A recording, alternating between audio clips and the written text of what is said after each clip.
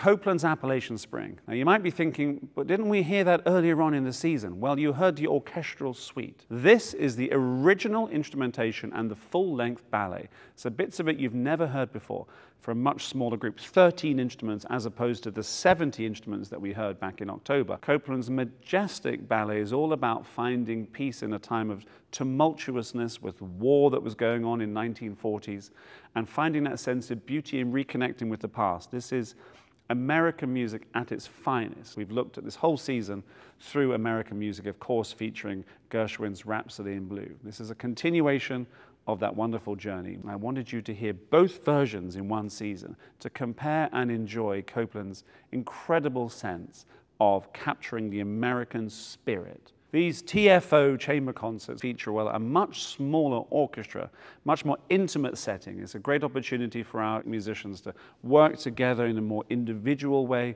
And of course, it gives us access to the most glorious repertoire that we wouldn't do with full symphony orchestra. Performing in these beautiful venues. We're right here in the Episcopal Church on Orange Avenue in Clearwater.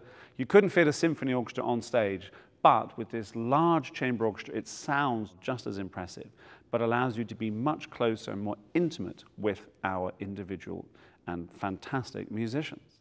Live music has such incredible variety, and I love being able to perform these chamber pieces for you and with you. On Friday night at the Episcopal Church here in Clearwater, and also on Saturday night at Tampa Theatre. Well, that's in Tampa. Thank you very much.